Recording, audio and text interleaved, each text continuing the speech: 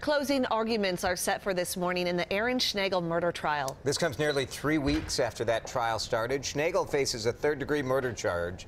Prosecutors say the Chisago County man provided drugs that killed his ex girlfriend back in 2012. Danielle Jelinek was 27 when she disappeared. Investigators found her body five months later in a pond by Schnagel's house.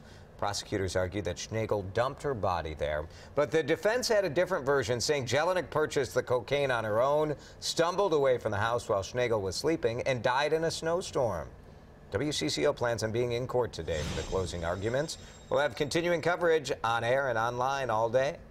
Today, a Richfield woman is scheduled to make her first appearance before a judge after a fiery wreck that killed a city worker in Bloomington.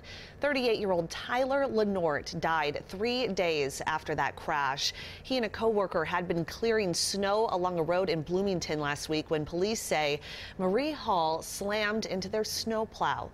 Charges filed against the 24 year old say she had been drinking, speeding, and quoting the Bible. Investigators are now trying to determine what role mental health may have played in this crash. She was going fast enough to spin this big, huge pickup around 180 degrees, killing one and seriously injuring the other. Um, she shared with police officers that she read in the Bible, quote, you must die by the flesh to get to heaven and this is a way to end it all. Marie Hall is set to make her first appearance today. The other worker who was in the truck with Lenort is now in satisfactory condition. Tyler Lenort's co-workers are mourning his loss. He is being remembered for how much pride he took in his job and how much he loved working for the city of Bloomington.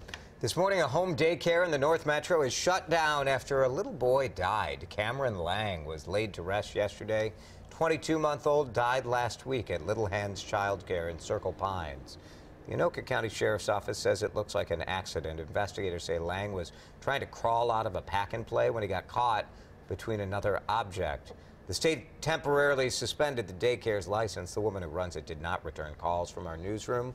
Cameron Lang would have turned two next month.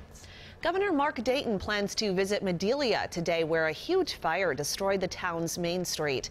Flames ripped through businesses Wednesday morning in the town southwest of Mankato. It destroyed six buildings and a seventh may need to be torn down.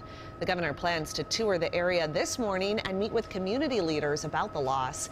The state fire marshal's office is helping investigate the fire's cause, and it could be months before they have any answers. Among the businesses lost, a furniture store, a dentist's office, a restaurant, flower shop, and hair salon. More than a half dozen old country buffets across the metro are closed. That includes this one in Richfield. Seven restaurants that closed in the Twin Cities are part of nearly 75 shut down nationwide. Ovation Brands, the parent company, called them, quote, underperforming. The company said overall a large number of employees are affected, about 40 or 50 employees per store. They say those employees can apply to work at other open locations. Of course, Old Country Buffet actually started and was based in the Twin Cities for a while. Maple Grove, Burnsville, and Coon Rapids still open.